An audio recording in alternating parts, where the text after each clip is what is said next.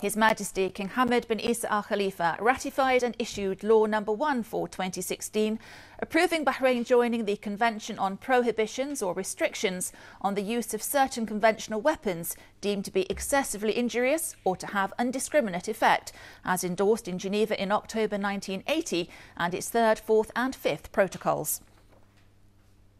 His Royal Highness the Prime Minister, Prince Khalifa bin Salman Al Khalifa, received today at Gudaibiya Palace accredited Arab ambassadors to the kingdom, led by the doyen of the diplomatic corps and Kuwaiti ambassador to Bahrain, Sheikh Azam Mubarak Al Sabah, as His Royal Highness discussed with the ambassadors recent Arab and international developments.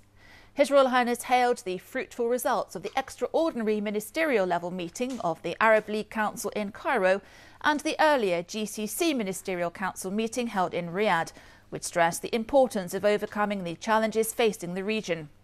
His Royal Highness the Prime Minister affirmed Bahrain's support for the Kingdom of Saudi Arabia, led by the custodian of the two holy mosques, King Salman bin Abdulaziz Al Saud, in all its efforts to maintain the region's security and stability, hailing Saudi Arabia's honourable stances in defending Arab causes. The Arab ambassadors affirmed their support for Bahrain, regarding all measures taken to stop any foreign interference in its domestic affairs. His Royal Highness then stressed the ambassadors' efforts to enhance relations between Bahrain and their own countries and wished them success in assuming their missions. On behalf of the Arab ambassadors, the Saudi ambassador, Dr. Abdullah bin Abdul Malik Al Sheikh, expressed his thanks and appreciation to Bahrain for its supportive stance to Saudi Arabia. The Kuwaiti ambassador expressed his thanks and appreciation to His Royal Highness the Prime Minister for his keenness to strengthen joint Arab action.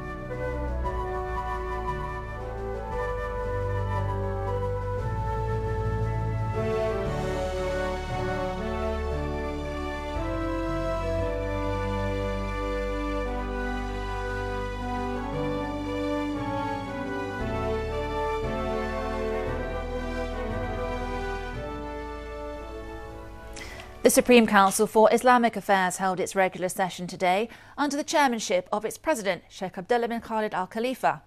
In the presence of the Deputy President, Sheikh Abdurrahman bin Mohammed bin Rashid Al Khalifa. The Council noted the importance of boosting cooperation in order to overcome all forms of terrorism that threaten the kingdom's security and stability. The Council hailed the efforts of Bahraini security bodies to foil a number of terrorist plots aimed at destabilising the country. It also urged non interference in other countries' internal affairs, respect for the principles of good neighbourliness, and embracing the true values of Islam.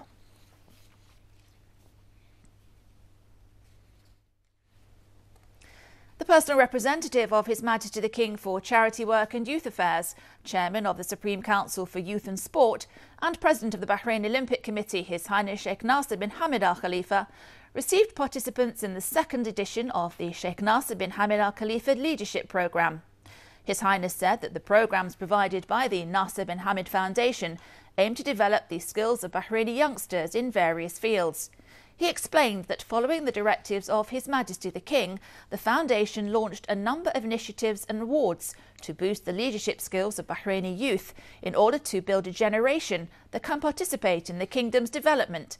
Participants expressed their keenness to enhance their leadership skills in order to play their part in serving the kingdom.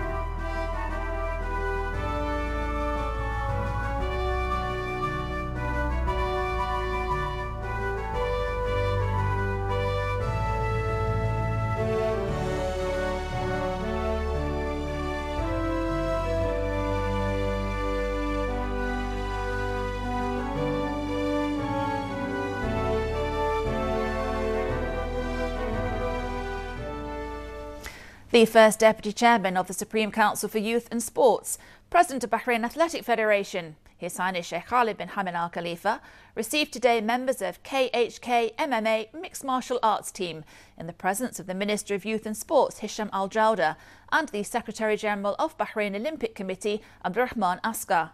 His Highness Sheikh Khalid expressed pride in the Bahrain team's first place in the Indian Open MMA Championship. He praised the performance and ability of the team against a field of international fighters and said he was certain they would enjoy more success in the future. His Highness Sheikh Khalid also praised the role of His Majesty King Hamad bin Isa Al Khalifa and his unwavering support for the youth and sports sector. He affirmed his ongoing support for the sport of mixed martial arts and wished the fighters further success.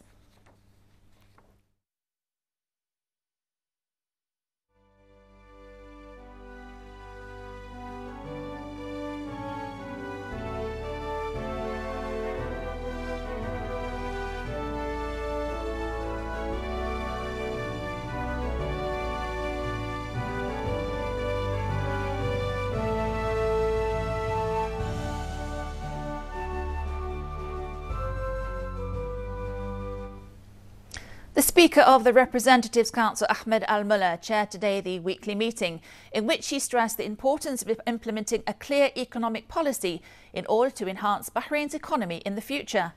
Members of the Representatives Council highlighted Bahrain's current economic situation and affirmed the importance of enhancing cooperation in order to overcome such challenges. During the Representative Council's weekly session, the Information and Parliament Affairs Minister Isa bin Abdurrahman Al Hamadi emphasised that the government and the Council of Representatives share common goals in relation to the country's interests.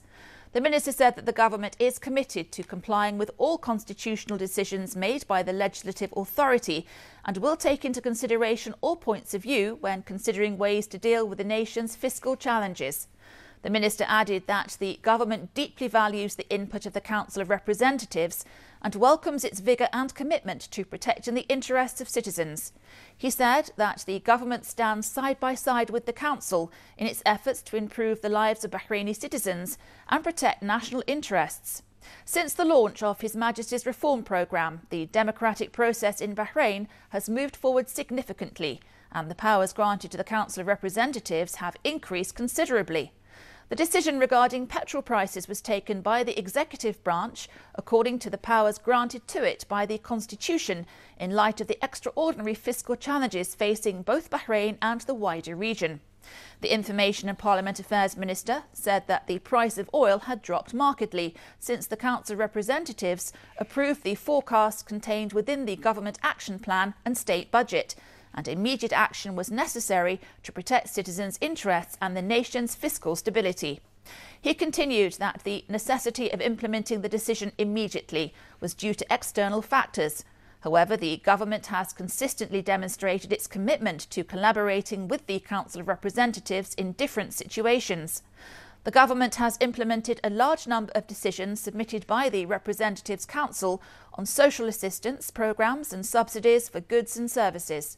We are confident, he said, and trust that all parties will continue to work together to prioritise the public interest and achieve fiscal sustainability for the benefit of the Kingdom's citizens. Mr Al Hamadi said that the government was prepared to take into account all points of view and to comply with any constitutional decision taken by Parliament regarding fiscal reform, whether related to increasing revenues or reducing expenditure. Bahrain's public prosecution today released its quantitative annual report looking into cases and systems for the period from 2014 to 2015. Danielle Deporto brings us more in this report. Bahrain's public prosecution today held a press conference to detail the findings of its annual report into systems and cases from 2014 to 2015. The briefing was led by Bahrain's chief public prosecutor, Dr. Ali bin Fadl Al Ba'inain. We start in 2005 the first report from the public prosecution to the public. It's very important that the community here know everything happened in the last year about all cases. We talk about terrorism cases, traffic cases, uh, theft, all these kind of, of, of crimes, and how it's going in Bahrain. Is it under control or not? And I think uh, uh, what we what we can know from this report that yes, everything is under control in this in this country. What we, we deliver today, everything it's it's it's an individual for each district. We, we, we spoke about in general about the cases. We spoke about also the, uh, the accused them, them, themselves, and even for the juvenile, within accused or victims. Not only do these comprehensive annual reports provide transparency for the public at large, but the numbers and trends also serve to help the public prosecution devise new strategies to tackle different classes of crime. For instance, this latest report reveals a slight increase in the numbers of traffic, drugs, and theft related crimes, which the public prosecution will be focused on tackling in the coming year. A significant success story highlighted in the 2014 2015 report is a reduction in the number of cases associated with social media, attributed to procedures implemented by the public prosecution on the back of their preceding report. The public prosecution coordinates with international counterparts in devising and refining its practices in line with global standards. For example, in the past year, there have been revisions in how juvenile suspects are approached in coordination with social workers. Looking forward to the coming year, in addition to improving existing practices, the public prosecution aims to introduce new remedies, such as mediation, to address Bahrain's ever evolving legislation. A lot of cases, the solution is not to send them to the court. I think we, we should start uh, uh, a new law, uh, give us the power to finish the case in the public prosecution, especially the violence in the, in the, in the families. Now, we got a new law in 2015, which is uh, talking about the the family and the violence in the in the family. I, I don't think the, the, the, the, right answer is to send the or the right solution to send the kid to the court. The right solution is to find a solution in the public prosecution to to to finish the case here before sending to the court. Reporting for Bahrain Television, I'm Danielle Deporto.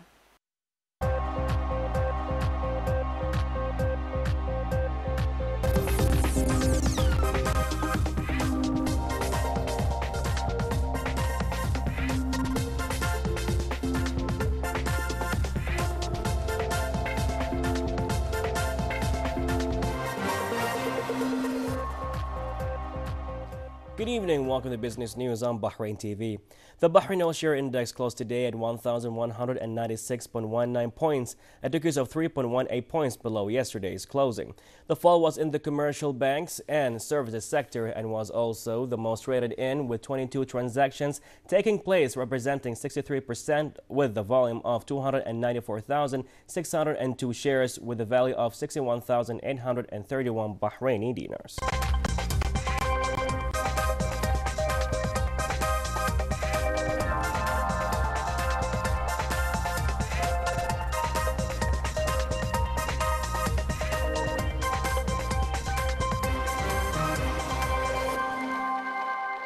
Good evening and welcome to the sports news on Bahrain TV. On behalf of His Highness Sheikh Khalid bin Hamad Al Khalifa, First Deputy Chairman of the Supreme Council for Youth and Sports, President of the Bahrain Athletics Federation, His Excellency Mr. Hisham bin Hamad Al Joder, Minister of Youth Affairs and Sport, received at the Bahrain airport the KHK MMA team that has won the prime position in three weights category of 57, 61 and 77 kilograms in the Indian Open MMA Championship on the sideline of the Body Power Expo alongside 300 MMA fighters from around the globe.